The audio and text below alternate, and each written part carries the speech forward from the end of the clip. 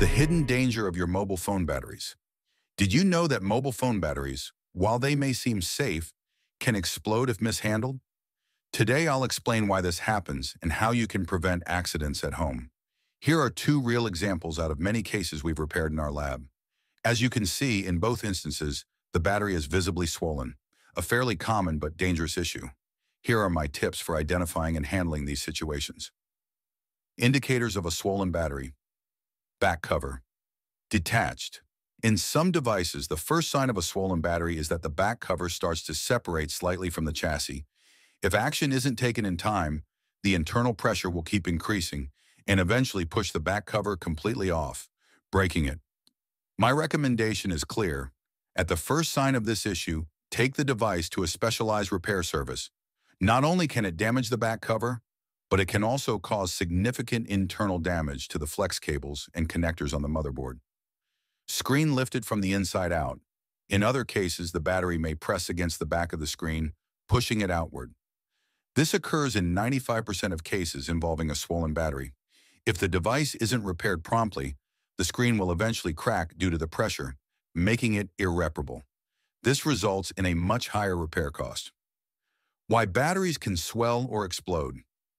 It's true that a swollen battery can explode, although several factors need to align for this to happen.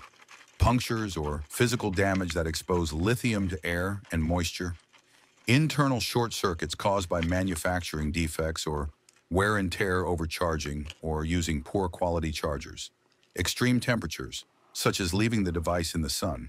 However, the risk should not be underestimated. Important caution regarding pets. This content needs to be shared widely.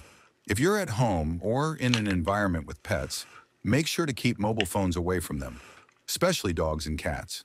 Animals might bite or puncture a phone out of curiosity, which could lead to serious consequences.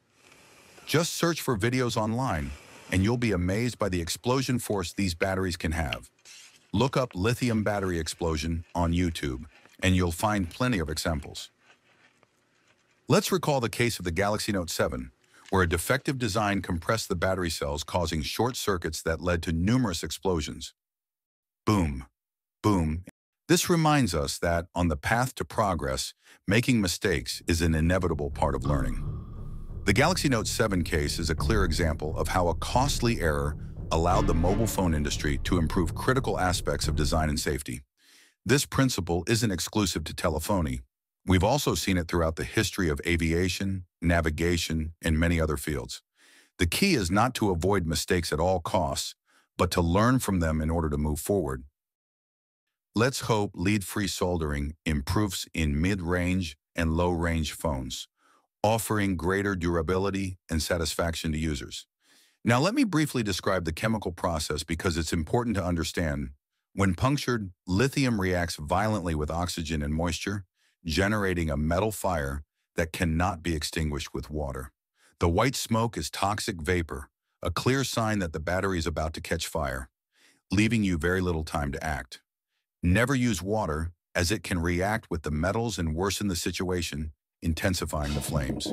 If you find this video useful, share it with your friends, family, and WhatsApp groups so they can take better care of their devices. Share your experiences in the comments. I'll be delighted to reply. We're here to contribute our little grain of sand in these fast-paced times. I draw positive energy from your comments. Remember, every positive action you take comes back to you multiplied. This isn't just a saying, it's something experience has proven time and time again.